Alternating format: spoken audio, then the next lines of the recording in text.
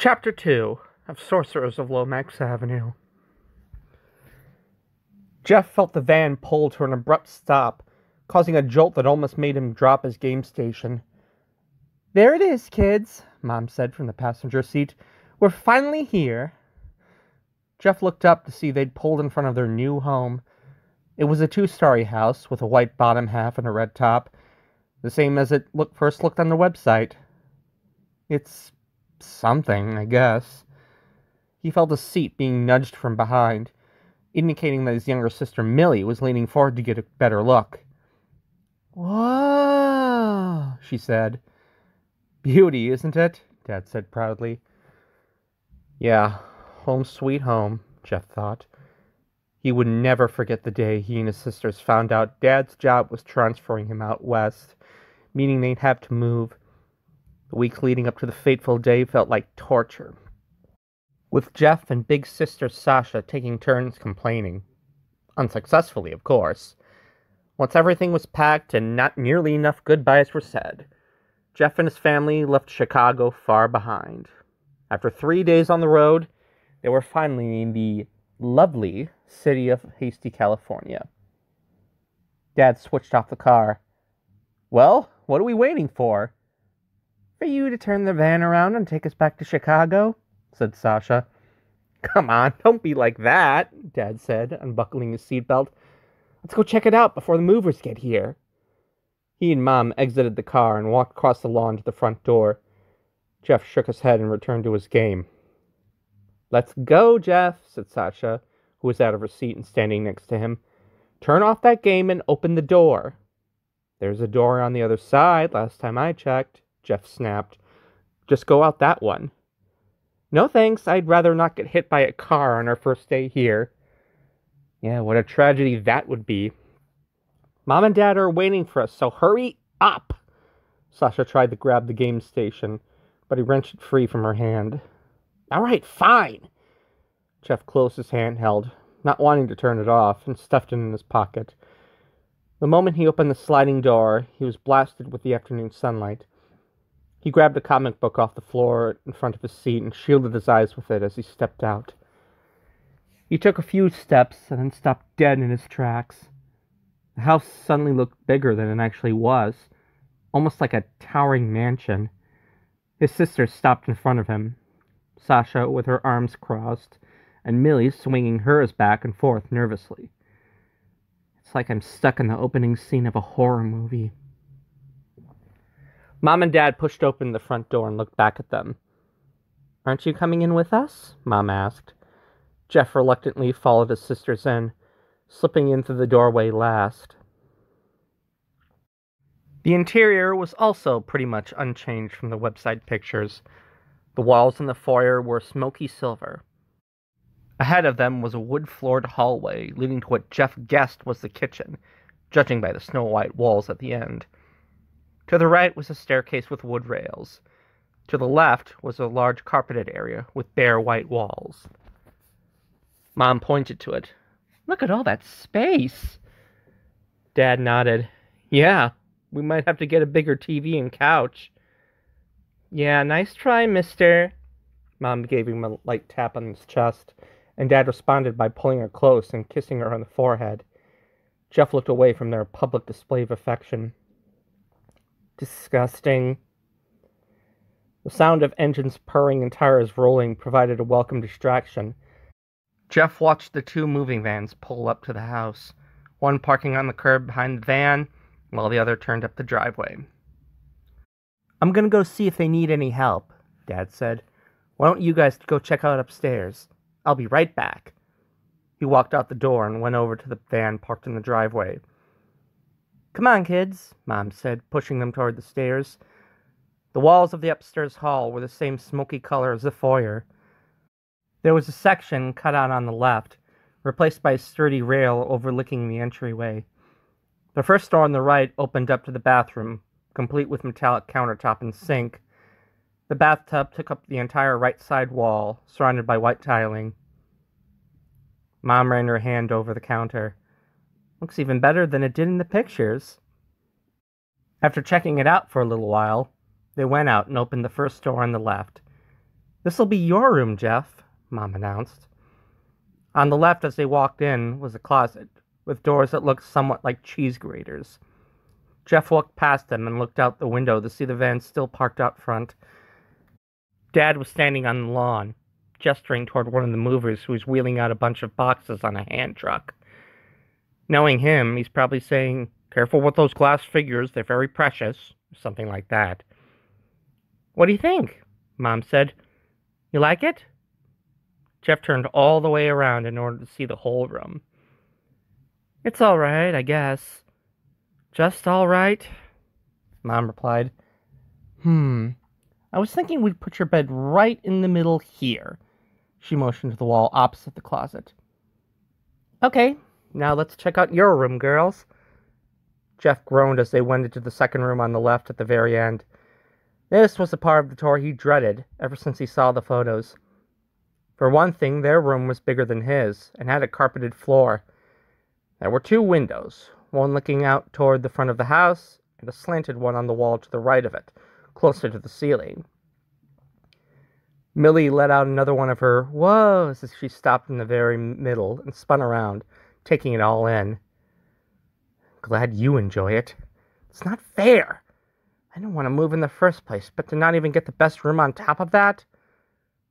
Why did they get this room? I want it. Oh, shut up, Jeff, Sasha said. Why must you always complain? Sasha, be nice, Mom scolded. She knelt down and put her hand on Jeff's shoulder. Now, Jeff, we've been over this a dozen times. Your sisters have to share rooms, so we had to give them more space. It doesn't mean your room is worse. You get to have it all to yourself. There's nothing to be jealous about, okay? Behind her, Jeff saw Sasha smirk triumphantly. He let out a soft grumble. Fine, he replied, not bothering to make eye contact. Good, Mom said. Now let's go check out our room. Mom and Dad's room was the largest of them all, even bigger than Sasha and Millie's. Figures I get the worst room out of the bunch. Grown ups get all the cool stuff. On the other side was a door leading to a large bathroom with a shiny tub that looked like it could fit ten people. Oh man, I wish I had a tub like that in my room, Sasha grumbled. Can we at least use it sometime? Please? Jeff couldn't help but smile. Now who's complaining? I'll think about it, Mom replied. In the meantime, we should get back downstairs and see if there are any more boxes to unload. Once again, she mushed them like sled dogs back to the hall and followed them down the stairs. What a house, huh? Imagine how it'll look once everything's unpacked and set up. Just as they got back downstairs, a woman with red, curly hair walked in through the open door, with Dad following close behind. She appeared to be the same age as Mom and Dad, and put on an overly cheerful expression the moment she saw Jeff and his family.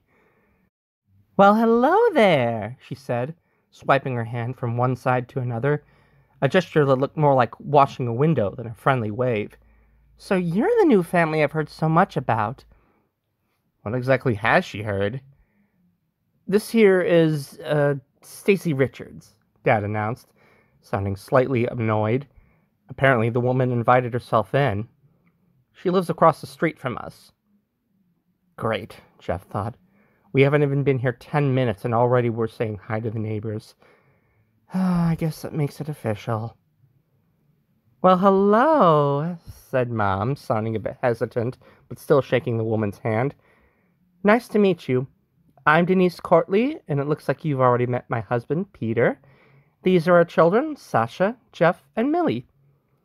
Miss Richards' face beamed as she looked Jeff and his sisters over. They look just adorable, she remarked in typical mom's friend tone. You have such a wonderful family. She keeps it up. I feel like she might give me tooth decay. Thank you, Mom replied. So, uh, what about you? Is there a Mr. Richards? Stacy threw her hands up. Heavens, no. With my kind of schedule, who has time to find somebody? City board meetings, fundraisers, librarian work. She sighed. It may not be a glamorous life, but it's mine. I can only imagine, Dad said. Well, let me be the first to welcome you to the neighborhood, she continued sing song. Looks like you still got a ways to go before you're fully moved in. Here, let me help you. Oh, no, that's not necessary, Mom said. Nonsense, insisted Miss Richards. I don't work out three times a week just so I can sit by and watch. I won't take no for an answer. And she didn't. Reluctantly, Jeff and his family let her help with the boxes. She directed traffic and barked out orders as if she was the one who lived there.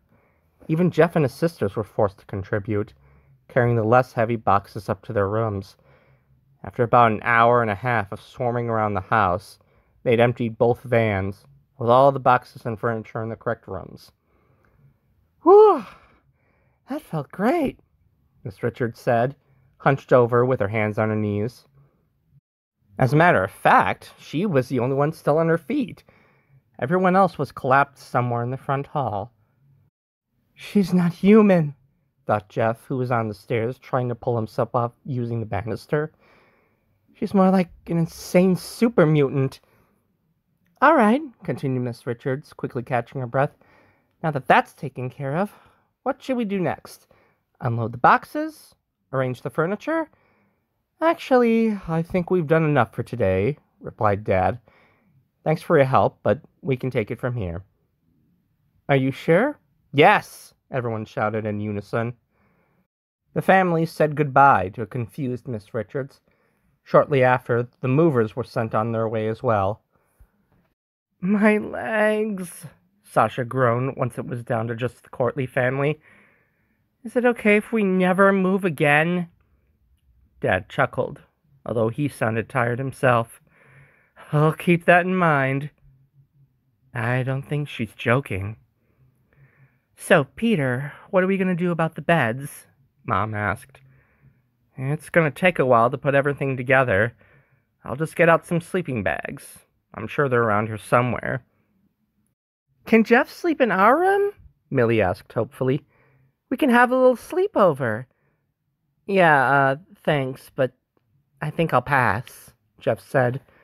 No way am I going to share a room with two girls. Millie's smile faded. Why not? I thought you'd like spending time with us. Just let him sleep in his room, Mill, Sasha said.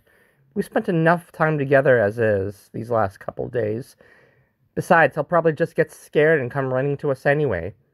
Hey, shut up, Jeff growled. You can discuss it later, Dad said. Come on, everybody in the car. We're going for a drive. Sasha groaned. But I'm tired. Do we have to? Oh, it'll be fun, Dad insisted. We can take a look at the rest of the town, and then after that we'll go out to celebrate our successful move. What's there to celebrate?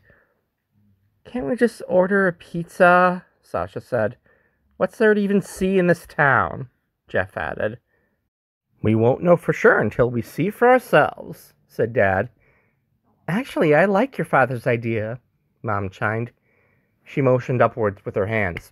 All right, kiddos, everyone on your feet. Jeff struggled to stand alongside his sisters and sluggishly followed his parents out the door.